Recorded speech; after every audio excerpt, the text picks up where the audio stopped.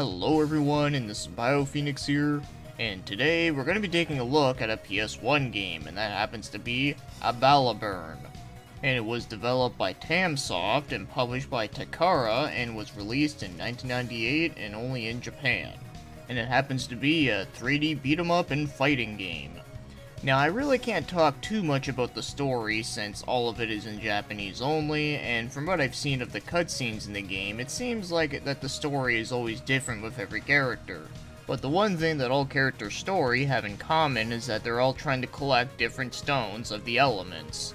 So as for all the playable characters, there's Aqualia, who happens to be a robot who kinda looks like a black mage, Ariel, who is kinda like a priestess, Bane, who is a giant monkey, of course, Khulud, who is a humanoid cat, then there's Nate, who kind of looks like a half-human, half-Terminator sort of thing going on, and then there's Pooley and Rose, but I really don't know what else to say about them. And finally I'll mention is Blood. Yeah, I'm not even making this up. His name is Blood, because he's edgy as fuck! And that sums up all the main characters that you can play as. Of course, there are other characters that appear in the story mode, but they are boss characters or even sub-bosses. So now let's talk about the main attraction here, the story mode. So the story mode in here is kind of like a mixture of like a beat 'em up, also a fighting game, but also sort of like an adventure platforming kind of game too. So in all the levels you get many different enemies that you get to beat the crap out of, and you also do get to level up as well. So to throw in another thing to add to that mixture, it does have some minor RPG elements. And of course, all the monsters that you beat end up dropping uh, health power-ups.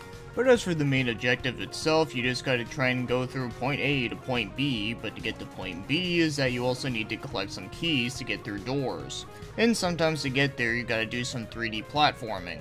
And as a bonus option, you can also collect different colored coins throughout the game. And whenever you get to a boss, whether it be a sub-boss or a regular boss, it actually goes to a side view where it actually plays like a 3D fighting game. And you just move on to the next stage and do the exact same stuff within the other settings, and there you go. So for a game made by Tamsoft, it is actually kinda unique since it actually takes both elements of many different games that they've done, but like puts them into one. And this is one of their earlier games too, so this is way before the Simple series stuff on PS2. So now let's get moving on to the game's controls.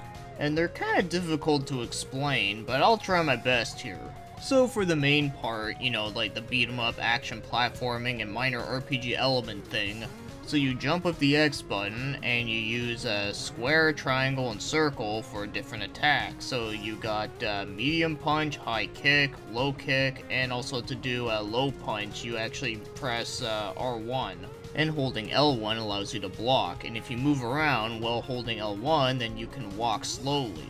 Well, it may sound pretty straightforward though, but the part that's kinda difficult to talk about is the walking in this game. Now, to put it bluntly, the walking in this game is very dated. And the tricky thing is too, is that it's not 100% tank controls, but also like, isn't either. So when you just hold up forward, you go forward, you know, that's obvious stuff. But if you press either left or right as its own, you just do it like a sidestep. And pressing down on its own allows you to do a backdash or even a backflip. Now if you're holding left or right while you're pressing up, then yeah, you can actually steer normally, but it's kinda awkward though. I find the better way of steering in this game is actually using L2 and R2. Yeah, that's the part that feels really dated about this game, is that using R2 and L2 to steer as you're going forward. It's like almost like you're driving a person. But if you hold either R2 or L2 as its own without moving around, then you can actually turn around. And also the game actually focuses from the behind view, so you don't really have to worry too much about the camera. Because while it does suck that you don't really have much camera control, I do find that it actually does adjust itself pretty well. But as for the fighting parts, when you're fighting bosses, or if you're playing in versus mode, the attacking and doing the super moves and all that kind of stuff is all the same, but moving around here pretty much does feel like your typical early 3D fighting game. So yeah, even though it is side-scrolling at these parts, you still have to press X in order to jump, which is kinda weird, but once you get over that though, I do find that the fighting game parts are actually not too bad. I'll say this, I do think this game does age a lot better than the first game that they did, Battle Arena Toshinden. But even as the 3D fighting game sections go though, I wouldn't say it's anywhere near as good as like, I don't know, like Tekken 2 or 3. But at the very least, the fighting is somewhat responsive and it isn't slow as shit. It's just more simplistic stuff really though, but given that this is more of a beat 'em up than a fighting game, it does kinda make sense. But the controls overall, well, I think for the time it came out, they're not bad, but of course looking at them by today's standards, then yeah, they are a little rough around the edges. So now, let's get moving on to the other things, like the graphics, and I do think that the graphics in this one do have a mix of some good things and not so good things. So as for the good things in here, I really do like the character designs in this game. I think a lot of them look pretty great. But probably my favorite looking characters in this game would have to be Aqualia, Ariel, and Nate. But even the other characters, I do find that their character designs are not too bad either.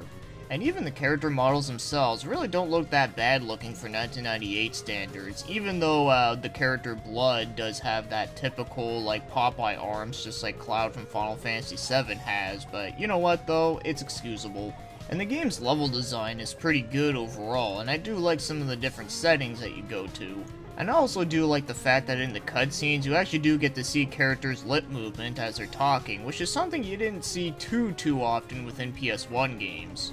But as for the one thing that I think could have been a lot better though about the graphics is that there are some sceneries in the game that are missing textures and it looks like it's just painted a solid color and that's it and it just looks kinda ugly.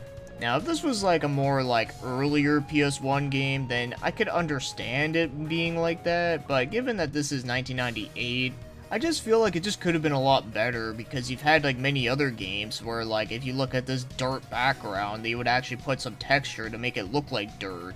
And this tree is just like one solid color, there's like no detail to it whatsoever. But other than that one thing though, I do find that the rest of the graphics do look pretty good for what they are. So now, as for the game's music, the music in this game is actually really nice and I do like it quite a bit. So not only do all the songs fit the setting pretty well, but some of them are actually kinda catchy too. But unfortunately, as much as I do like the OST in this game, I can't seem to find the OST anywhere. I can't find it on YouTube, I can't find it on other uh, video game OST sites, it just seems like I just can't find it anywhere, which kinda sucks, so that's why you're probably listening to whatever the hell I'm putting in here. But if you did manage to find the OST, or if you play this game and you listen to the music, I think it's actually quite good. I mean, it's not the most amazing, like, PS1 OST ever, but I do think it is a pretty good one. So now, if you wanted to go out and buy yourself a copy of this game, if you have a way to play it, then good news is, is that this game is actually still really cheap. The cheapest I've seen it for was about $11.99, and the highest I've seen it for was about $27.99. But usually the prices in between are pretty fair. So now, as my overall thoughts on Abalaburn, is that, well, this might surprise you, but I actually kinda like the game.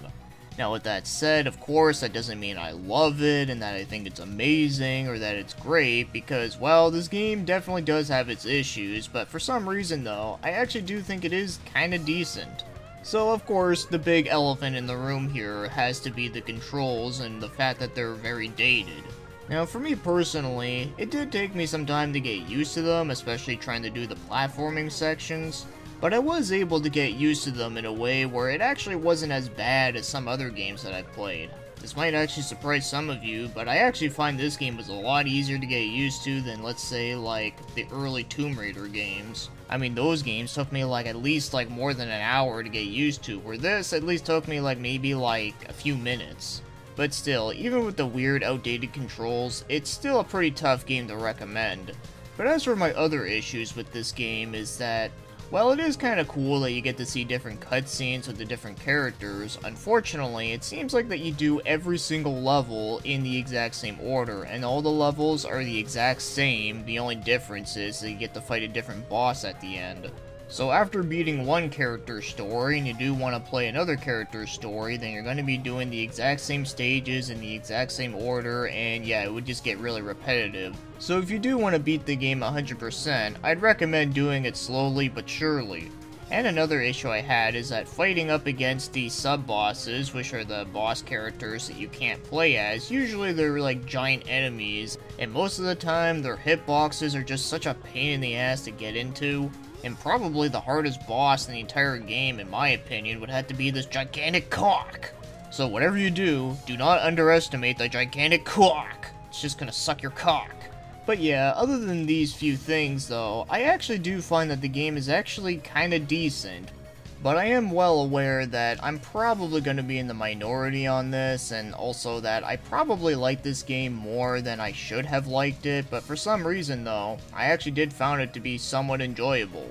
So like I already said, I wouldn't recommend it to most people for the controls are pretty outdated and I have a feeling some people would find them to be very frustrating, which I can totally understand.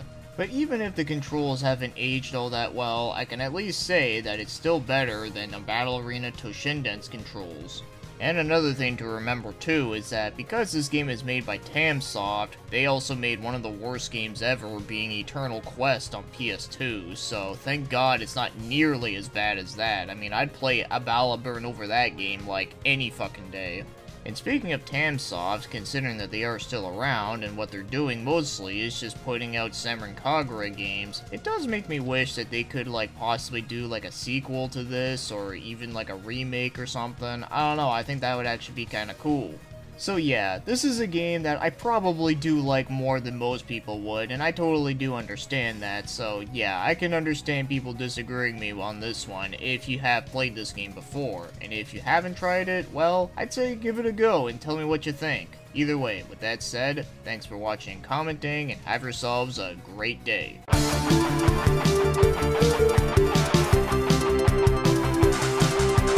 When you see the Mushroom Warriors coming, quickly double tap the Q button to do a double jump butt stomp. Just kidding.